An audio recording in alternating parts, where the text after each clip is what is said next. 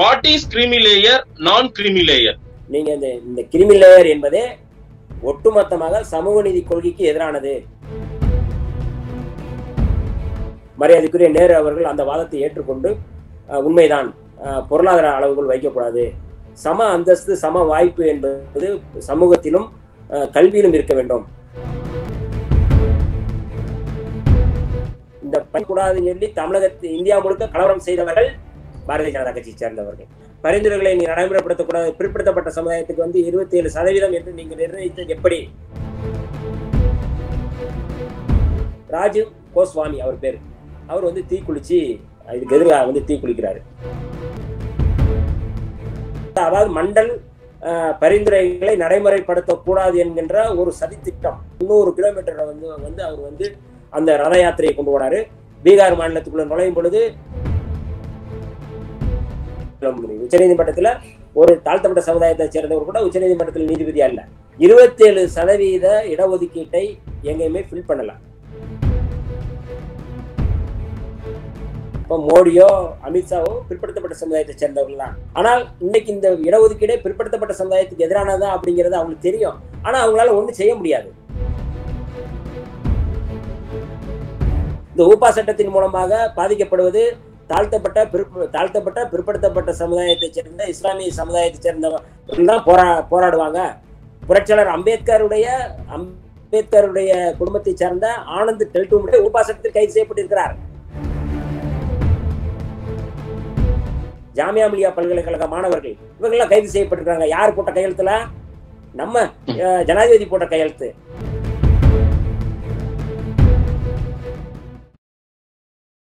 ஆதன் தமிழ் நேயர்களுக்கு வணக்கம். நம்முடைய விடுதலை சிறுத்தைகள் கட்சியின். துணை பொதுச் செயலாளர் வன்னியரசு இணைப்பில் இருக்கிறார். வணக்கம் திரு வன்னியரசு சார். வணக்கம். சார் இன்றைக்கு தமிழக அரசியல் கட்சிகள் எல்லாம் ஒரு புள்ளியில் இணைந்து ஓபிசி இடஒதுக்கீட்டில் மத்திய அரசு நம்மை வஞ்சிக்கிறது அப்படின்ட்டு கடிதம் எல்லாம் அடுத்தடுத்து எல்லா கட்சிகளுமே கொடுத்துட்டு இருக்கோம் அதுக்காக எதிர்ப்பு தெரிவித்து விடுதலை சிறுத்தைகள் கட்சி கூட குரல் கொடுத்து கொண்டிருக்கிறீர்கள். என்னுடைய கேள்வி இந்த ஓபிசி இடஒதுக்கீட்டில் மத்திய அரசு என்ன வஞ்சிக்குது அப்படின்றத இந்த புது சட்ட திருத்தம் என்ன கொண்டு வரப்போகுதுன்னு நம்ம முழுமையா பேசுவோம். ஆனா இதனுடைய வரலாறு தெரிஞ்சுக்கணும். இதை வந்து இன்டெப்தா நம்ம போனோம் அப்படின்னா வாட் இஸ் கிரிமி லேயர் நான் கிரிமி லேயர் இது எதற்காக வரையறுக்கப்பட்டது? இது வந்து இன்றைக்கு இருக்கிற மாணவர் இளைஞர்கள் சமுதாயத்துக்கு நிச்சயம் தெரிய வேண்டிய ஒரு விஷயம். அதனுடைய வரலாறு நாம திரும்பி பார்க்கலாம்னு நான் நினைக்கிறேன் சார். நீங்க அதனால முழுமையா அந்த ஆரம்பத்துல இருந்து இது எதற்காக வரையறுக்கப்பட்டதுன்னு சொன்னீங்கன்னா நல்லா இருக்கும் திரு வன்னியரசு சார். மகிழ்ச்சி.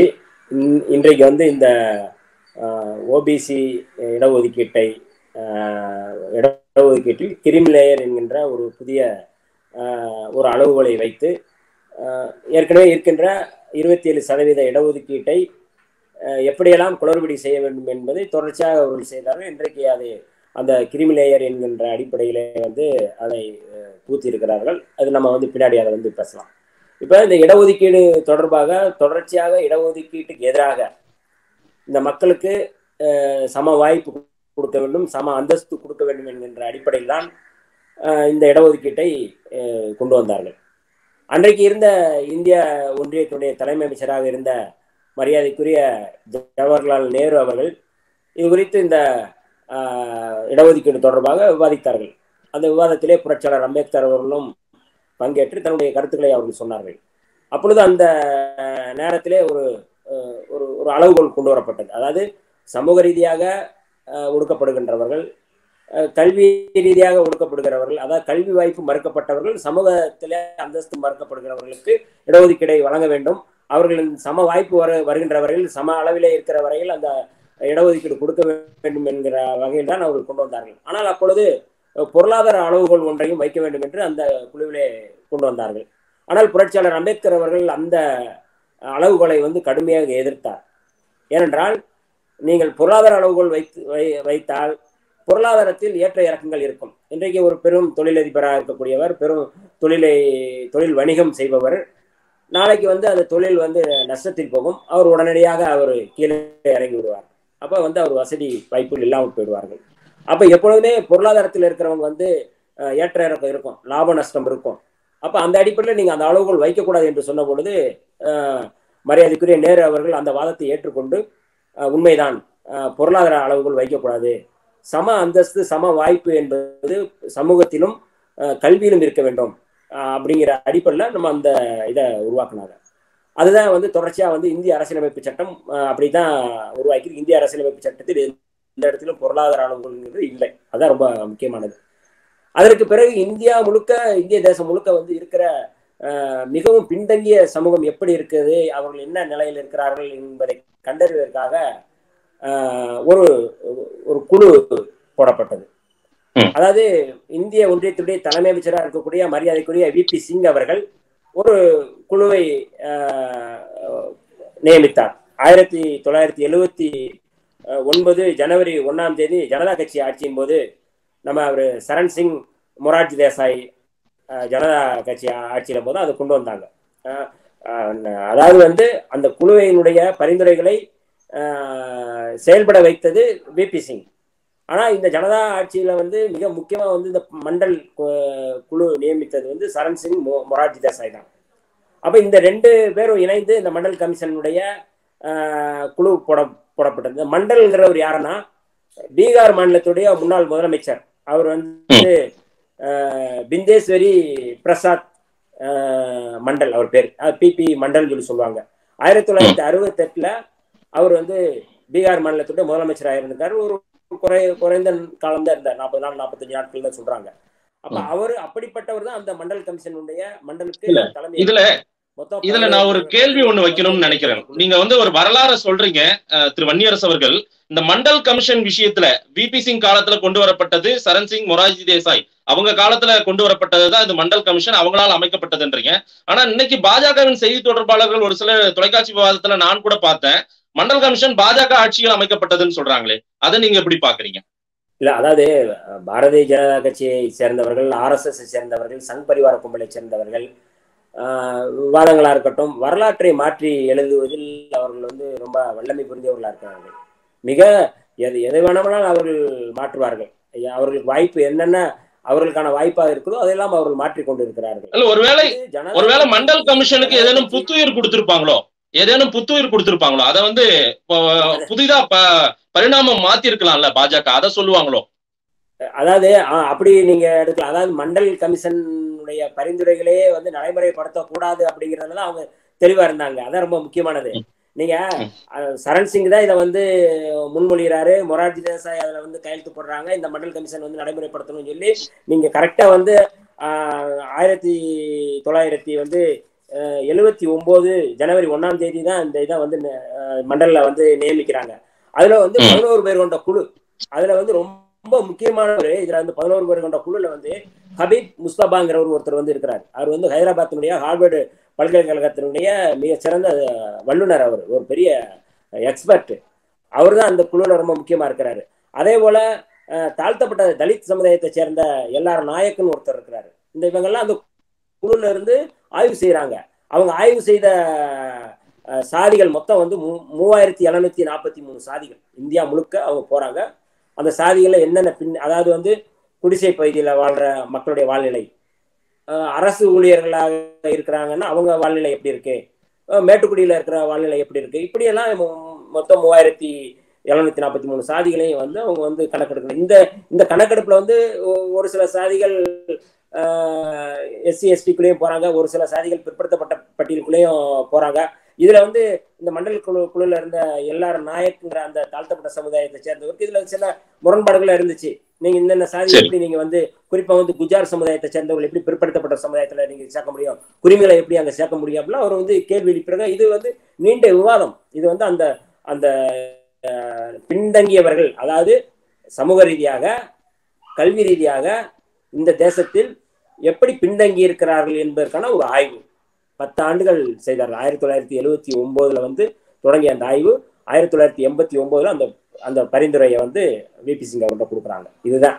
நீங்க சொல்றீங்க பாரதிய ஜனதா கட்சிக்கு சேர்ந்தவர்கள் வந்து இதுல வந்து உரிமை கொண்டாடுறாங்கன்னு சொல்றாங்க. இந்த பண்ணக்கூடாதுன்னு சொல்லி தமிழகத்து இந்தியா முழுக்க கலவரம் செய்தவர்கள் பாரதிய ஜனதா கட்சியை சேர்ந்தவர்கள். இல்ல இந்த இந்த குழு இந்த இதனுடைய பரிந்துரைகளை நீ நடைமுறைப்படுத்தக்கூடாது. பிற்படுத்தப்பட்ட சமுதாயத்துக்கு வந்து இருபத்தி ஏழு சதவீதம் என்று நீங்க நிர்ணயித்தது எப்படி? ஐம்பத்தி அவ அவர் என்ன சொல்றாரு? மண்டல் பரிந்துரைனா மொத்தம் இந்தியாவில் இருக்கிற மொத்தம் சதவீதத்துல ஐம்பத்தி ரெண்டு சதவீதம் வந்து மிகவும் பிற்படுத்தப்பட்ட சமுதாயத்தை சேர்ந்தவர்கள் இருக்கிறாங்க. அவங்களுக்கு நீங்க இருபத்தி ஏழு சதவீதம் நீங்க வந்து கொடுக்கறதுல தவறு இல்லை அப்படிங்கிறத அவர் சொன்ன அந்த இது அஹ், அடிப்படை. அதாவது கல்வியில நீங்க கொடுக்கணும். கல்வியில ரொம்ப முக்கியமா உயர்கல்வி.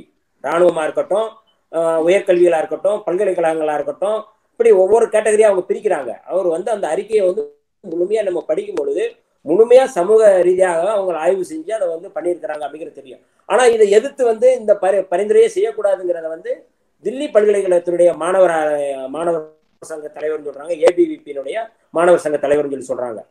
அவர் வந்து ராஜீவ் கோஸ்வாமி அவர் பேர். அவர் வந்து தீ குளிச்சு இதுக்கு எதிராக வந்து தீ குளிக்கிறாரு அன்னைக்கே அது விவாதிக்கப்பட்டது. தீ குளிச்சாரா இல்ல தீ வைக்கப்பட்டதா அப்படிங்கிறது அன்னைக்கே வந்து இது விவாதிக்கப்பட்டது. அப்படி விவாதிக்கும் போது இதை ஒட்டி வந்து பெரும் கலவரம் வருது. அதாவது இந்த இடஒதுக்கீட்டுக்கு எதிராக பெரும் கலவரம் வெடிக்கப்பட்டதுன்னா வட மாநிலங்கள் முழுக்க வெடிக்கப்பட்டது இதை ஒட்டி தான் வந்து ஆயிரத்தி தொள்ளாயிரத்தி தொண்ணூறு செப்டம்பர் இருபதாம் தேதி அத்வானி வந்து ராமர் ரத யாத்திரை இதை ஒட்டி தான் அவர் தொடங்குறாரு. இது வந்து இதை வந்து. திசை அதாவது மண்டல் பரிந்துரைகளை நடைமுறைப்படுத்தக்கூடாது என்கின்ற ஒரு சதித்திட்டம். அஹ், பார்ட்னர்கள் எப்பவுமே வந்து நேரடியாக சொல்ல மாட்டாங்க. வேற ஒரு ரூட்டு இல்லைன்னா வேற ஒரு செயல் திட்டத்தை வகுத்து தான் அதில் வந்து போவாங்க. முந்நூறு கிலோமீட்டரை வந்து வந்து அவர் வந்து அந்த ரத யாத்திரையை கொண்டு போனாரு பீகார் மாநிலத்துக்குள்ள நுழையும் பொழுது அன்றைக்கு இந்தியாவுடைய தலைமை அமைச்சராக இருந்த விபி சிங் அவர்கள் உடனடியாக லாலு பிரசாத் யாதவுக்கு ஆணை பிறப்பித்து அவரை கைது செய்யணும்னு சொன்னாங்க.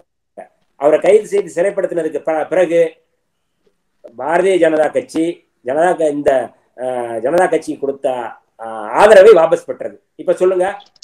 பாரதிய ஜனதா கட்சி உண்மையாவே நேர்மை இருந்தால் நீங்க சொல்லுங்க வெளிப்படையா பேச பேசட்டும்.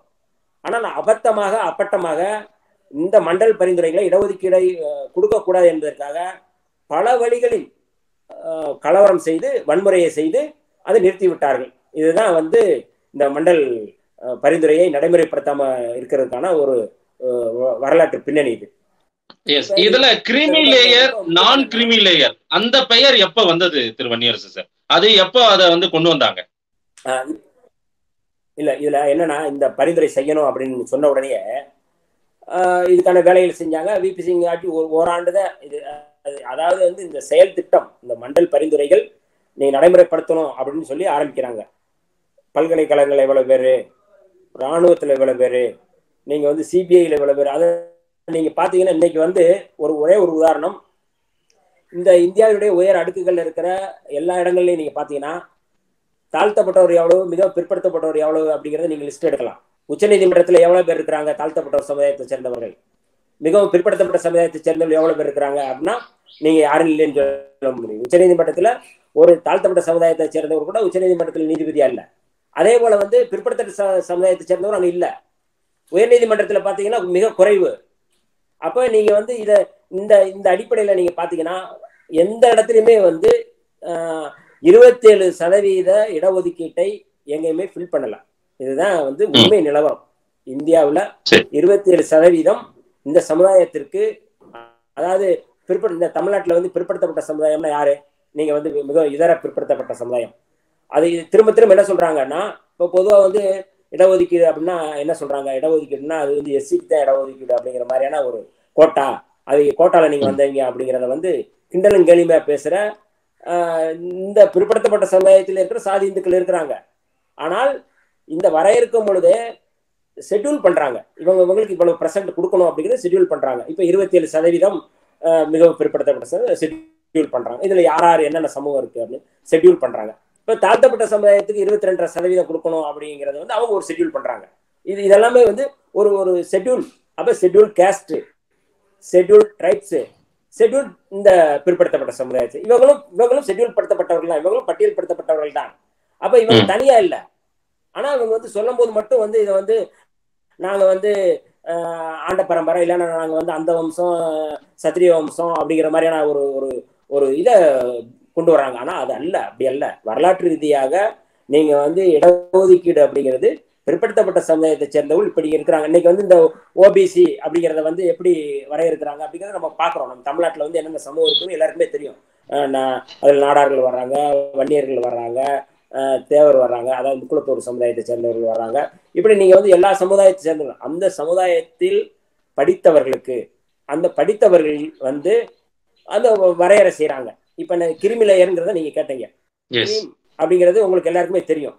கிரீம் அப்படின்னா வந்து இந்த பிஸ்கட்ல இருக்கிறது நடுவுல இருக்கும் பாருங்க கிரீம். அத ஒரு கொஞ்சம் வந்து பசை பசை இருக்கிறவன் அர்த்தம் அப்படி கூட நம்ம சொல்லலாம். எங்க தலைவர் அதான் சொல்லுவார். அது பசை இருக்கிறவனை தான் அந்த கிரீமி கிரீம் லேயர் அப்படிங்கிறத வந்து சொல்றாங்க. அதை தான் வந்து சொல்றேன் அப்ப அந்த கிரீம்னா கொஞ்சம் அதாவது கொஞ்சம் பசையுள்ளவன் அவ்வளவுதான். இதை வந்து கணக்கெடுக்கிறாங்க அப்படிங்கறத வந்து ரொம்ப முக்கியமா இப்ப இது எங்க எந்த இடத்துல வந்து இவங்க கணக்கெடுக்க முயற்சி பண்றாங்க அப்படிங்கறத நம்ம வந்து பாக்குறோம் இப்ப இந்த இந்த இந்த ஒட்டுமொத்த மக்கள் தொகை கணக்கெடுப்பே வந்து ஆயிரத்தி தொள்ளாயிரத்தி முப்பத்தி ஓராம் ஆண்டு கணக்கெடுப்பு கணக்கெடுப்பின் அடிப்படையில தான் மண்டல் வந்து இந்த இருபத்தி ஏழு சதவீத இடஒதுக்கீட்டை வந்து நிர்ணயம் செய்தது.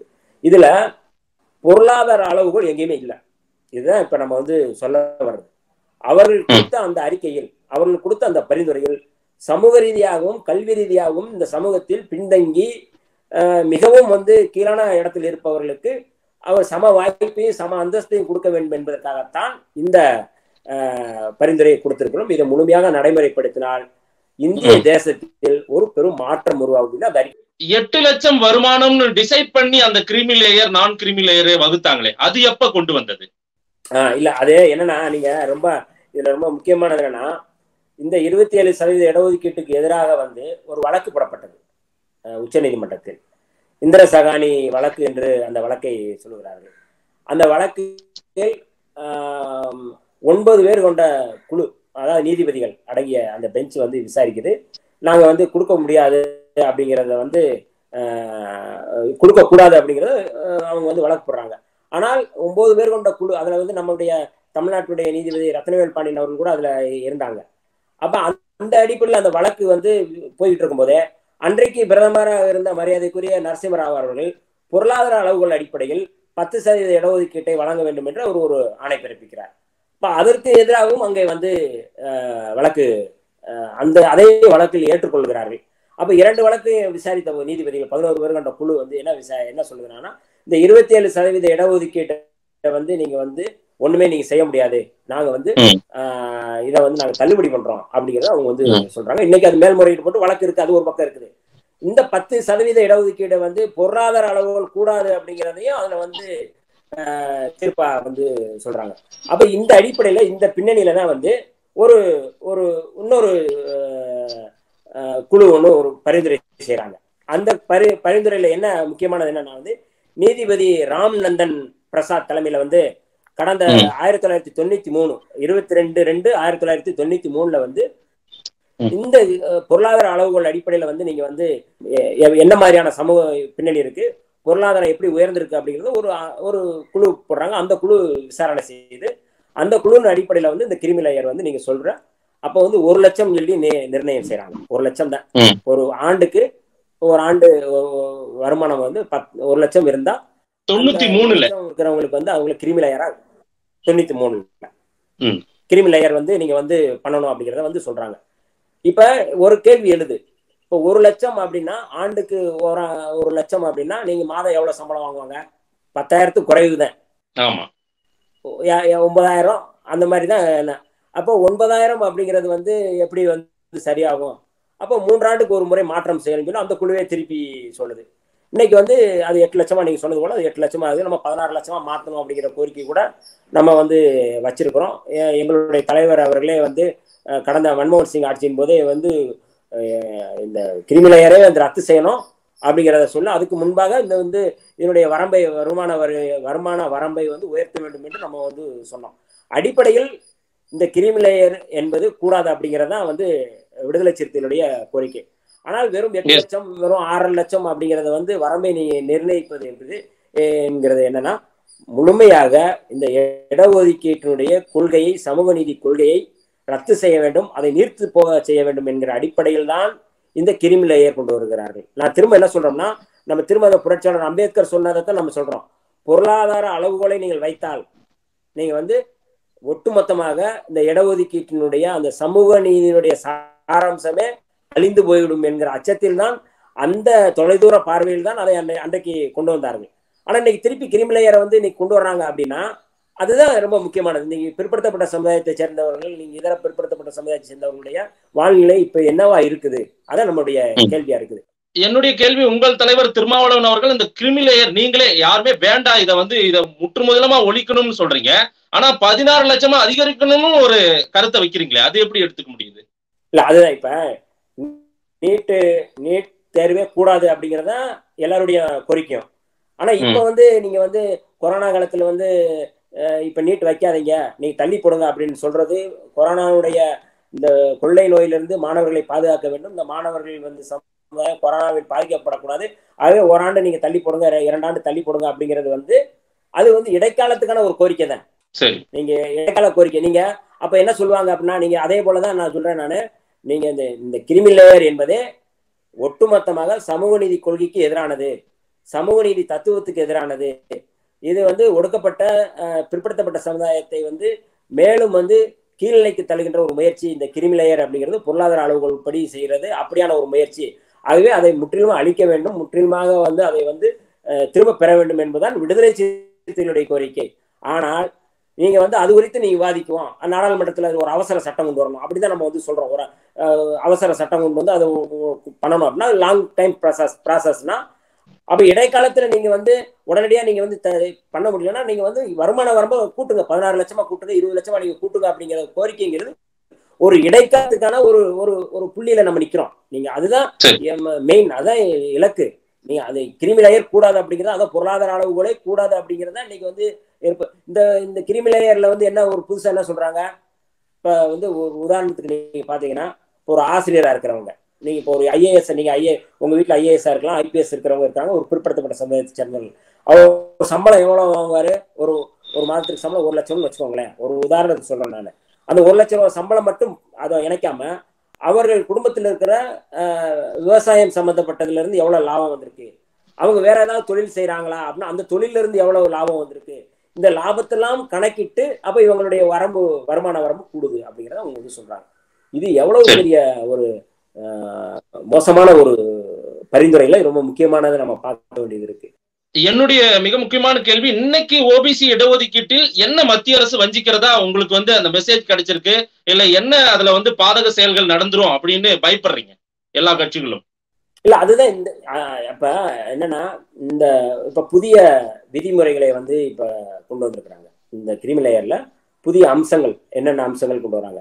ஏற்கனவே நான் சொன்னது போல உயர் கல்வி நிறுவனங்கள்ல உயர் வேலை வாய்ப்புகள்ல இப்ப ஐஐடியில இருக்கட்டும் அல்லது வந்து இராணுவத்தில் இருக்கட்டும் வங்கி பணிகளாக இருக்கட்டும் பல்கலைக்கழகங்களாக இருக்கட்டும் இப்படி பணிகளில் எவ்வளவு எவ்வளவு பேர் இட ஒதுக்கீட்டில் வந்து நீங்கள் வந்து அந்த இடத்த ஃபில் பண்ணியிருக்கிறாங்க அப்படிங்கிறத நம்ம கோரிக்கை தொடர்ச்சியாக வைக்கிறோம். இதுவரை வந்து அதுக்கான டேட்டாஸ் ஒன்றுமே இல்லை.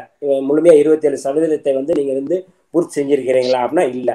அப்போ அப்படி இல்லாத போது நீங்கள் இந்த கிரிமிலேயர் அப்படிங்கிறத வந்து நீங்கள் கொண்டு வரதன் மூலமாக அதனுடைய ரொம்ப நுட்பமான ஒரு அரசியல் என்னவா இருக்கும் அப்படின்னா இப்போ வந்து இந்த வரும் வருமான வரம்பை வந்து நீங்க நிர்ணயிக்கிறீங்க. நிர்ணயிச்ச உடனே அந்த வருமான வரம்புக்குள்ள வந்து இந்த கல்வியில் ஏற்கனவே இருக்கிறவங்க வேலை பார்த்தவங்க கூட அதில் அடங்கிடுறாங்க. ஏற்கனவே இருந்தவங்க கூட அதில் அடங்கிடுறாங்க. அப்போ அவங்களுக்கான அவங்க பிள்ளைகளுக்கு அவங்களுக்கான இது தலைமுறை தலைமுறையா அவங்களுக்கான வாய்ப்புகள் மறுக்கப்பட்டுரும்.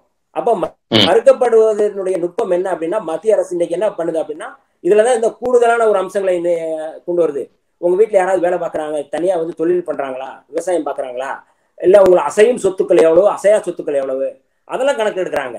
இப்போ நீங்க இதுக்கு முன்னாடி இல்லை இல்லை. நீங்க அசையும் எங்க வீட்டில் ஒரு வீடு இருக்கு. நான் வந்து ஒரு ஐஏஎஸ் ஐபிஎஸ் எங்க வீட்டில் ஒரு பையன் வருவான் அப்படின்னா எங்க இதுக்கு முன்னாடி இருந்த ஐஏ இந்த அசையும் சொத்துக்களையும் அசைய சொத்துக்களையும் சேர்த்து விவசாயத்துல வர லாபத்தை சேர்த்து அல்லது வேற ஏதாவது தொழில்கள் செய்யற லாபத்தையும் சேர்த்து உங்களுடைய வருமான வரம்பு இவ்வளவு கூடுது அப்படின்னு சொன்னா இது வந்து எப்படி ஏற்றுக்கொள்ள முடியும்?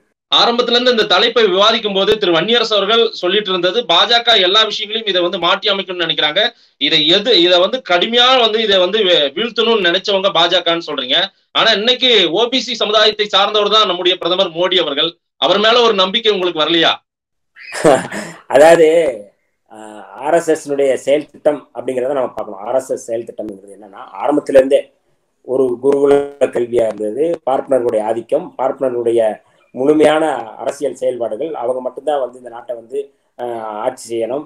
அவங்களுக்கு கீழே ஒரு சமூகம் இருக்கும். அந்த சமூகம் தான் வர்ணாசிரம அடிப்படையில் வந்து கீழே இருக்கிற சமூக படிநிலைகள் படிநிலை இருக்கு அவங்களுக்கு எடுபடி செய்யக்கூடிய சமூகம்.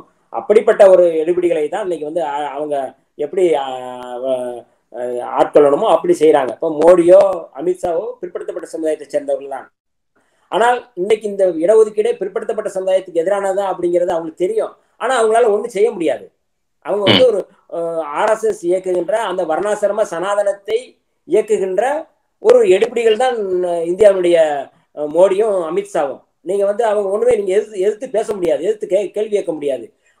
அப்படிப்பட்ட ஒரு ஒருவர்கிட்ட நம்ம என்ன எதிர்பார்க்க முடியும்? இன்னைக்கு இருக்கிற இந்த இடஒதுக்கீட்டினுடைய கொள்கையே எல்லாமே வந்து இந்த சமுதாயத்துக்கு எதிரானதா இருக்குது. அப்ப இந்த சமுதாயத்துக்கு எதிராக இருக்க அப்படின்னு கேள்வி கேட்கறதுக்கு எந்த இடத்துல கேள்வி வைப்பாங்க ஒண்ணுமே அவர் கேட்க முடியாது. அப்ப இவங்க மேல இருக்கிற நம்பிக்கை அப்படிங்கிறது அவங்க ஏற்றுக்கொண்ட சித்தாந்தத்தின் அடிப்படையில் நம்ம பார்க்கிறோம். பாரதிய ஜனதா கட்சி பாரதிய ஜனதா கட்சிக்கு பின்னாடி இருக்கிற ஆர்எஸ்எஸ் ஆர்எஸ்எஸ்னுடைய செயல் திட்டம் என்ன? அவர்களுடைய வந்து வர்ணாசிரமத்தை சனாதனத்தை இந்தியாவில் நிலைநிறுத்த வேண்டும். அதற்கு தடையாக இருப்பது இந்த சமூக நீதி கொள்கையான இடஒதுக்கீடு. அதை தடுப்பதற்காக அவர்கள் பல்வேறு வழிகளை செய்கிறார்கள். அதுதான் ரொம்ப முக்கியமானது இடஒதுக்கீடு சமூக நீதி விஷயத்தில் தமிழ்நாடு தான் ரொம்ப மற்ற மாநிலங்களை விட முன்னாடி நின்று குரல் கொடுக்கக்கூடியது. குடியரசுத் தலைவரை யாரை நியமிச்சிருக்காங்கன்றத உங்களால யூகிக்க முடியும். நம்முடைய பாஜக தமிழக தலைவரை யாரை நியமிச்சிருக்காங்கன்றத உங்களால யூகிக்க முடியும். ஆனா அதையெல்லாம் கூட பார்த்து விட்டு கூட உங்களுக்கு ஒரு சந்தேகம் வந்து கொண்டே இருக்கிறது தொடர்ந்து. அதாவது நீங்க இந்தியா ஒன்றியத்தினுடைய ஜனாதிபதியா இருக்கிறாரு ஒரு தாழ்த்தப்பட்ட சமுதாயத்தை சேர்ந்தவர் இருக்கிறாரு அப்படின்னா அவருக்கான அதிகாரம் என்ன? அவர் வந்து ராஜஸ்தான்ல ஒரு கோயிலுக்கு போறாரு. ஆனா கோயிலுக்குள்ள அங்க இருக்கிற குருக்கள் உள்ள விடாம வெளியில நின்று அவருக்கு வந்து வழிபடுவதற்கான அந்த வழிகளை செய்து அவர்களை அனுப்புகிறார்கள் இதுதான் வந்து இப்ப இங்க இருக்கிற நிலைமை. இப்ப வந்து பாரதிய ஜனதா கட்சியோட மாநில செயலாளராக வந்து இந்த தமிழ்நாட்டில் வந்து ஒருத்தர் இருக்கிறாரு அப்படின்னு சொல்றீங்க. தமிழ்நாடு மட்டும் இல்லை இந்திய அளவிலே ஒரு ஒரு தாழ்த்தமிழ் சமுதாயத்தை இருந்தாலும் அவர்கள் ஏற்கனவே நிறுவி இருக்கின்ற அந்த சித்தாந்தத்தை நடைமுறைப்படுத்தக்கூடிய ஒரு எடுபடிதான் தேவையை ஒழிய புதிய கொள்கையை வகுக்கக்கூடிய ஒருத்தர் இல்லை. நீங்க வந்து ஏற்கனவே அவங்க வழி வகுத்திருக்கிறாங்க. ஒரு வடிவம் அமைச்சிருக்கிறாங்க.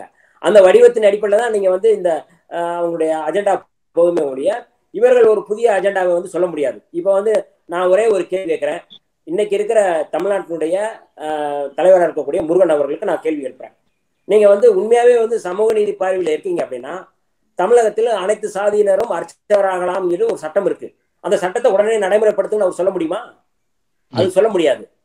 ஏன் அப்படின்னா அந்த அந்த கோயில்ல ஆகம விதிகளின் அடிப்படையில வந்து பார்ப்பனர்கள் மட்டும்தான் வந்து கோயில்ல இருக்க முடியும். கோயில்ல வந்து பூஜை செய்ய முடியும் அப்படிங்கிறது ஆகம விதி. அவங்க வரையறுத்தது.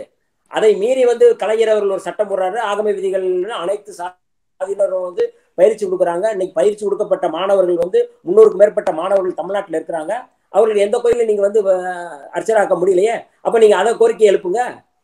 அப்ப உங்களுக்கு அந்த அந்த ஒரு வலிமை இருக்கு அப்படின்னா நம்ம வந்து அதை வந்து பாராட்டலாம். உண்மையாக அதை பாராட்டலாம். ஆனா ஏற்கனவே என்ன வடிவமைக்கப்பட்டதோ ஏற்கனவே என்ன கொள்கைகளை வந்து ஆர்எஸ்எஸ் பிஜேபி என்னென்ன கொள்கைகளை வந்து வடிவமைச்சிருக்கோ அதை நீங்க நடைமுறைப்படுத்துறதுக்கு முயற்சி பண்றீங்க அப்படிங்கிறதுல வந்து என்ன புதிதாக இருக்கப்படு முடியும்? இன்னைக்கு வந்து இந்தியாவுடைய ஜனாதிபதி வந்து முழுக்க முழுக்க முழுக்க கையெழுத்து போடுறாரு. ஒன்றுனா ஒவ்வொரு சட்டமா கையெழுத்து போடுறாரு. ஒரு ஒரு உதாரணத்துக்கு நீங்க பாத்தீங்கன்னா ஊப்பா சட்டம். ஊப்பா சட்டத்தை வந்து நடைமுறைப்படுத்தக்கூடாது என்று நாடாளுமன்றத்திலே விடுதலை சிறுத்தைகள் உள்ளிட்ட எல்லாருமே குரல் எழுப்பினோம். இந்த ஊப்பா சட்டத்தின் மூலமாக பாதிக்கப்படுவது தாழ்த்தப்பட்ட பிற்ப தாழ்த்தப்பட்ட பிற்படுத்தப்பட்ட சமுதாயத்தை சேர்ந்த இஸ்லாமிய சமுதாயத்தை சேர்ந்தவர்கள் தான் போரா போராடுவாங்க. அவர்களுக்கு வந்து இதுக்கு பாதிக்கப்படுவாங்கன்னு சொன்னாங்க. இன்னைக்கு எத்தனை பேர் பாதிக்கப்பட்டிருக்கிறாங்க பாருங்க. புரட்சியாளர் அம்பேத்கருடைய அம்பேத்கருடைய குடும்பத்தை சேர்ந்த ஆனந்த் டெல்டூமுடைய ஊப்பா சட்டத்தில் கைது செய்யப்பட்டிருக்கிறார். அவர் போட்ட அவர் கையெழுத்து போட்ட அந்த சட்டத்தின் அடிப்படையில் தான் இன்னைக்கு வந்து ஊப்பா சட்டத்துல வந்து ஆனந்த் டெல்டூமுடைய அவர் பெரிய தமிழ ஒரு பெரிய அறிஞர் மிகப்பெரிய மனித உரிமை பேராசிரியர் அவரு. அவர் என்ன தவறு செஞ்சுட்டா ஒரு தவறும் செய்யல. அவர் மார்க்ஸே அடிப்படையில் புத்தகங்கள் எழுதுறாரு. நிறைய ஆய்வு கட்டுரைகள் எழுதியிருக்கிறாரு. இன்னைக்கு கோவா பல்கலைக்கழகத்துல பேராசிரியர் இருந்தவர். அவரை புரட்சியாளர் அம்பேத்கர் பிறந்த நாள் அன்னைக்கு அவரை கைது பண்றாங்க. நீங்க வந்து மும்பையில வந்து நடந்த அந்த பீமா காரோ கோரைக்கானுடைய அந்த இருநூறாவது ஆண்டு வெற்றி விழாவில் வந்து கலந்து கொண்டவர்களை அடித்து விரட்டி கலவரம் செய்தது வன்முறை செய்தது இந்து சங் பரிவார கும்பல். அதற்கு முந்தி நடந்த அந்த மாநாட்டில் வந்து இவங்க கலந்து கொண்டார்கள் என்றுதான் இவர்கள் கைது செய்தார்கள். ஊப்பா சட்டத்தில் கைது செய்திருக்கிறார்கள். அவர் மட்டுமல்ல கௌதம் நவ்லாக்கா கைது செய்யப்பட்டிருக்கிறார். அவர் மட்டுமல்ல இன்றைக்கு வந்து ஊடகவியலாளர்கள் வந்து காஷ்மீரிலே ஊடகவியலாளர் கைது செய்யப்பட்டிருக்கிறார்கள்.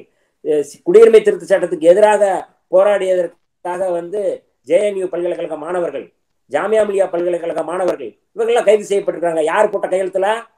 நம்ம ஜனாதிபதி போட்ட கையெழுத்து. அப்ப நீங்க சொல்றீங்க நம்ம ஜனாதிபதி தான் இருக்கிறாரு அப்படின்னா அவருக்கு வந்து தெரிய வேணாமா. இந்தியாவுடைய மிக முக்கியமான ஒரு பொறுப்புல இருந்தவர் கே ஆர் நாராயணன் அவர்கள் ஜனாதிபதியா இருந்தவர். அவர் பல சட்டங்களை அன்றைக்கு வந்து காங்கிரஸ் கொடுத்த ச- சட்டமா இருக்கட்டும் கொண்டு வந்த சட்டங்கள் எல்லாம் அவர் வந்து மறுதளிச்சாரு அப்ப அவருக்கு ஒரு பாலிசி இருக்கு அவருக்கு ஒரு ஒரு புரிதல் இருந்தது. இப்ப அந்த மாதிரி இவர் வந்து செய்ய முடியுமா? அப்படி செய்ய. முடியாது. அப்படி செய்யறன்னு நினைச்சாருன்னா அவரை மாத்திடுவாங்க அவர் அதாவது பாரதிய ஜனதா கட்சியுடைய அஜெண்டாவை தங்கு தடையின்றி செயல்படுத்தக்கூடிய ஒருத்தர் வேணும். அதுக்கு வந்து அவர் இருக்கிறாரு.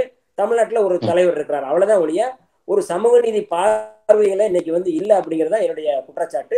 உண்மையாவே இன்னைக்கு வந்து தமிழ்நாட்டுல இருக்கிற பாரதிய ஜனதா கட்சி இந்த கிரிமிலேயர் முறையை ஒழிக்கணும் அப்படின்னு அவர் குரல் கொடுக்க சொல்லுங்க. இந்த ஓபிசி இடஒதுக்கீடு வந்து ஒட்டுமொத்தமாக சமூக நீதிக்கு எதிரானது.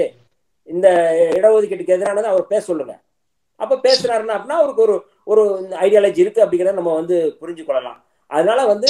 இது வந்து ஒட்டுமொத்தமா ஒரு நீண்ட கால நீண்ட கால ஒரு போராட்டம். வர்ணாசிரம சனாதனத்துக்கு எதிரான போராட்டம். இந்தியா முழுக்க அது வந்து சமூக நீதி காவலர்களால விபி சிங் அவர்கள் லாலு பிரசாத் யாதவ் முல்லு முலாயம் சிங் யாதவ் கன்சிராம் இப்படிப்பட்ட தலைவர்கள் எல்லாம் இந்த இடஒதுக்கீடு தொடர்பாக நிறைய வந்து போராடி இருக்காங்க போராடி பெற்ற அந்த இடஒதுக்கீட்டை இன்றைக்கு கிரிமிலேயர் என்கிற ஒரு நுட்பமான அந்த பொருளாதார அளவுகளை வைத்து இன்றைக்கு ஒழித்து கட்ட முயற்சிக்கிறது பாரதிய ஜனதா கட்சி. எஸ் இந்த கிரிமிலேயர் விஷயம் முற்று முதலா ஒழிக்கப்படணும் அப்படின்றதுதான் உங்களுடைய வாதம். அதே போல இன்னைக்கு தமிழக கட்சிகள் எல்லாமே நிறைய கட்சிகள் ஓரணியில நீங்க குரல் கொடுத்திருக்கீங்க. மத்திய அரசுக்கு இந்த ஓபிசி இடஒதுக்கீடு விஷயத்துல வஞ்சிக்கிறது அப்படின்ற விஷயத்த மெசேஜ சொல்லியிருக்கீங்க. கடந்த காலங்களில் திமுக தலைவராக இருந்த மறைந்த கலைஞர் அவர்கள் இது கிருமி லேயர் இல்ல கிருமி லேயர்னு பதிவிட்டிருக்காரு. இன்னைக்கு கிருமி லேயரை வந்து அடியோட ஒழிக்கணும்னு திரு திருமாவளவன் ரொம்ப காட்டமான பதிவுகள் நேற்றை கூட அவர் பேசியிருந்ததை நானும் பார்த்தேன் முழுமையா. நீங்க வைக்கக்கூடிய இந்த விஷயங்களுக்கு மத்திய அரசு என்ன செவிமடுக்க போகுது அப்படின்றத காலம் தீர்மானிக்க போகுது. இந்த கிரீமி லேயர் நான் கிரீமி லேயர்னா என்ன? இந்த இடஒதுக்கீடு சமூக நீதி விஷயங்கள் இது எங்க இருந்து தொடங்கியது? பிபி சிங் காலத்துல இருந்து சரண் சிங் அதே போல மொராஜி தேசாய் எல்லா விஷயங்களையும் நீங்க வந்து தெளிவா பதிவிட்டு இருக்கீங்க இதை வந்து மக்கள் கிட்ட கொண்டு போய் கொடுக்கிறோம். இணைப்பில் வந்து பேசியமைக்கு நன்றி திரு வன்னியரசு சார். நன்றி வணக்கம்.